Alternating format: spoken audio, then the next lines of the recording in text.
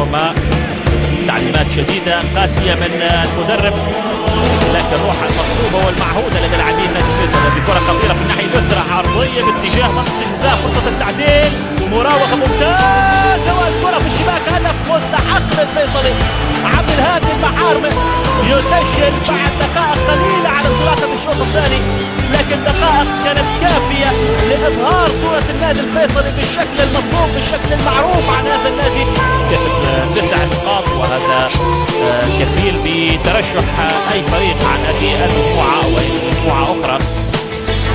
مكسي لديه ثلاث نقاط حتى الآن وفيصلي حتى الآن نقطتين والقاسم الفريقين نقاط والأمور صعبة وهذه كرة هدف ثاني بالفعل لمصلحة الفيصلي.